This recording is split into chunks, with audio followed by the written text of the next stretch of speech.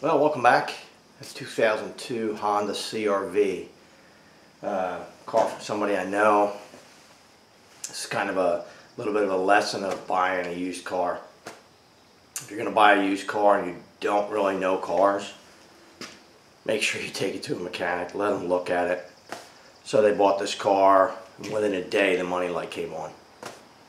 Uh, so came over, this is month, maybe two months ago and I pulled codes and it had you know a list of codes. The, the, the worst one uh, at least initially is the P0420 uh, low catalytic efficiency. So uh, there's plenty of videos out there what to test I did a whole bunch of tests. I looked at fuel trims I looked at the O2 sensors and how they responded. Tried to check to see if there were any exhaust leaks fed propane uh, into it while I was running to see how the um, the capacity of the uh, catalytic converter. Uh, the converter's bad, it needs to be replaced. It's got 100 and, at least 150,000 miles, I forget exactly what it is.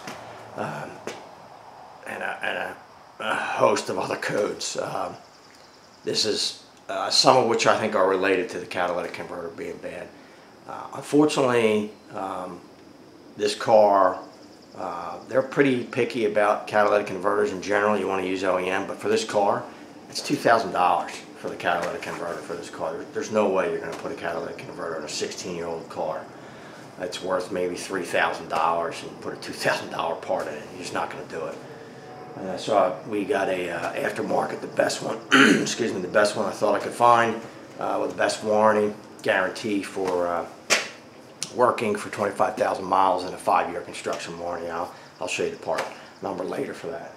Uh, so we're going to replace this catalytic converter uh, in this car. What I found out later, um, after talking with the owner of this car again, they went back and this was a dealer auction car.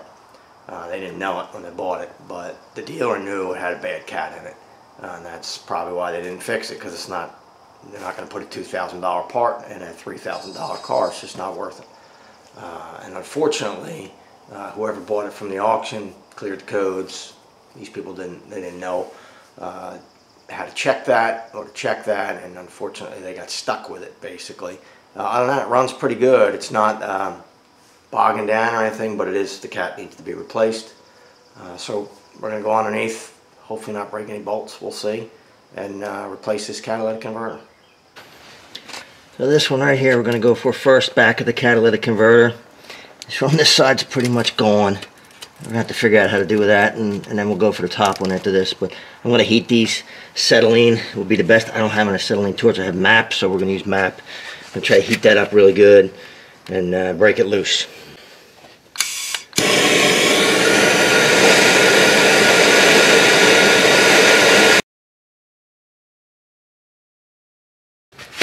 I'm just to quench that. Careful with your eyes on this. Don't get close to it, it's going to just blow stuff off of there. Big thing trying not to do here is break them off, but these are uh, 11 millimeter for this one. This is the one that's probably in, that one's totally gone almost, but I don't have my gun. This is a smaller gun and it's not turned all the way up. Hey, look at that. Got one. Remember, these are really hot. You can see, hopefully you can see how there's not much left of that. It's just destroyed, so we'll replace them, but it did come off. That's the big thing. Now we're going to go to the top one. Uh, a little harder to get at up here. Maybe I'll try to move my light and give you some light from that side. This one up here. I don't know if you can see that. Can you see that guy up in there? Yeah, I think you can. But same deal.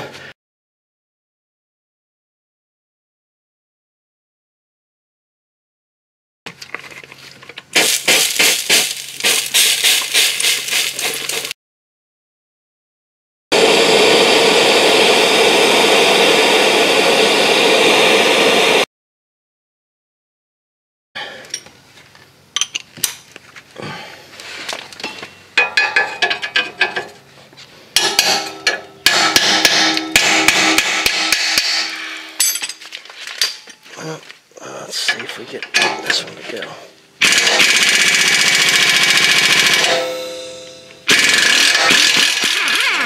Had to turn the gun up on one on that one, but did come off. This is what we want to see. Protection here, protection on for this.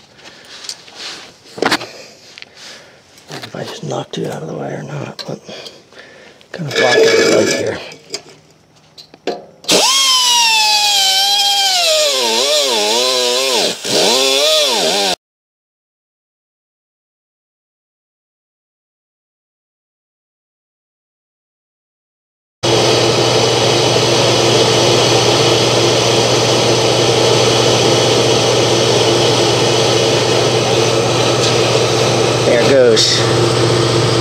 That's all I needed to see, really. You can see the flange there, how it's separated. That's a good thing.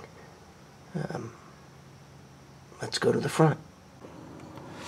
Can get this to focus, but we're under the front of the car, up at the front of the catalytic converter where it goes up into the exhaust manifold, and there's two spring bolts. You see the one on that side, one on that side. You can get in there with heat uh, if you have a uh, flexible uh, hose like I do. So I'm going to actually, I just tested this one on this side, this spring bolt, and it actually came right loose, which is unusual, but I'm happy. And I did soak these for a couple days. So um, this one, I'm going to hit it with some heat first.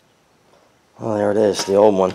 Had one casualty, one of the front spring bolts broke. So I'm going to have to heat that some more, but it, it didn't break off uh, flush, so I should have plenty to get a hold of. I'm going to heat it, quench it a few more times, see if I can uh, break it loose and get it out of there. I hope so. All right, I've got the new uh, catalytic converter in place. I don't haven't tightened the back bolts on it yet. Front bolts are tight. Put a new exhaust uh, gasket in here at the front.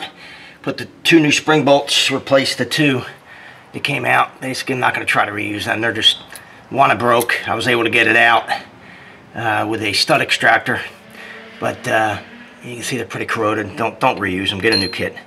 So I have new ones in there. It's all done. Uh, I'm going to put the O2 sensor and the air uh, fuel ratio sensor back in. Not back in, new ones. So not an OEM cat. Like I said before, too, way too expensive. Just can't justify the cost. OEM O2 sensor and air fuel sensor though. Um, Denso makes his uh, original equipment for this car. That's what's going back in it. Otherwise, you probably will have problems. So, the O2 sensors in the back on this one. Uh, it does come with some uh, high temp anti-seize. So it's got anti-seize on the threads. Don't get it on the element. You want to just keep it on the threads. Make sure it's only on threads.